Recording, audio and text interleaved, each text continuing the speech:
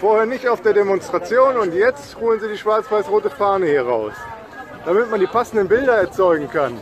Echt? Ja, guck mal, die hat auch noch die. Originalfalten. Ist doch scheiße von euch. Das ist wieder schlecht.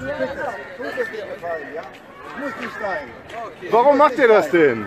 Es muss nicht sein.